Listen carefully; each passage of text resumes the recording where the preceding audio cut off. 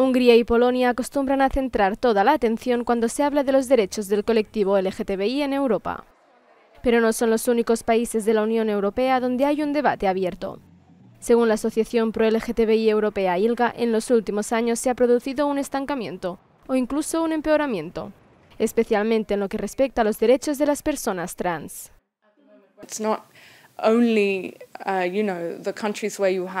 No son solo los países donde hay gobiernos que atacan deliberadamente los derechos LGTBI. Se ve también con bastante frecuencia en países donde piensan que ya lo han hecho todo. Dicen, hemos hecho tantas cosas por los derechos LGTBI, vamos a pasar ahora a otra cosa. Pero en realidad, a menudo, lo que está sucediendo es que una gran parte de los derechos defienden la orientación sexual, pero no tanto la identidad de género o las características de sexo. Por eso, la situación es diversa en Europa, en lugar de este falso binarismo entre este y oeste. Según ILGA Europe, al menos 15 países europeos están trabajando en una nueva legislación.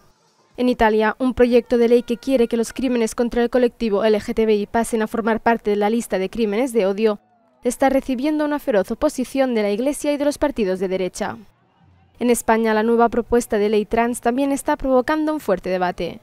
Podemos, miembro de la coalición de gobierno, cree que la nueva ley sería vital para la despatologización de las personas trans. En España, a, día de hoy, es necesario una hormonación de dos años para que las personas trans puedan cambiar su sexo y con esta ley lo que estaríamos haciendo es que solamente sea necesaria la voluntad de esa persona de cambiar su sexo y así declararlo ante el registro civil. Y en un plazo de tres meses podría cambiar su sexo y, por supuesto, su nombre. ¿no? Y creemos que esto es un avance muy importante que va en la línea de lo que han dicho pues, tanto eh, las distintas instancias europeas como a nivel internacional. Pero los partidos de derechas les preocupa que ponga en riesgo el sistema legal. Parece que con un trámite de cuatro meses uno puede decidir su de género.